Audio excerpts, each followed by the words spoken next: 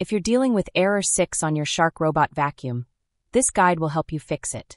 The issue often comes from the bumper being stuck or not moving properly. Error 6 usually happens when the bumper is unable to move freely.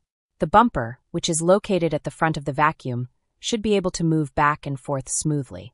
If it feels jammed or stuck, that's likely causing the error. To check the bumper, gently try moving it back and forth. If there's any resistance or it's not moving, the next step is to take it apart and inspect the mechanism. Start by removing the two small components near the bumper. After that, make sure to reassemble correctly by placing one side in first before snapping the other side back on. Now, to access the inner parts, there are five screws that need to be removed. Once the screws are out, the bumper can be gently lifted off. Be careful during this step to avoid damaging any internal parts. While the bumper is off, it's a good idea to clean any dust or debris. This small window should be clear, so give it a quick wipe if necessary.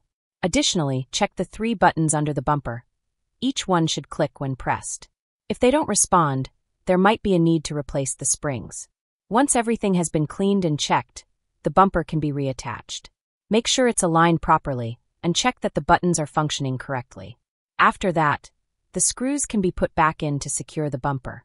If the bumper was simply off track, realigning it should resolve the issue. However, if the buttons aren't responding or the bumper still feels stuck, replacing the springs might be necessary.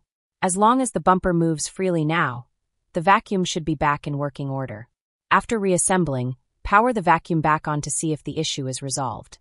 If the bumper is moving properly, error 6 should be gone, and the vacuum will function as expected. Hopefully, this guide helped you fix the problem. Be sure to subscribe for more helpful tips and tutorials.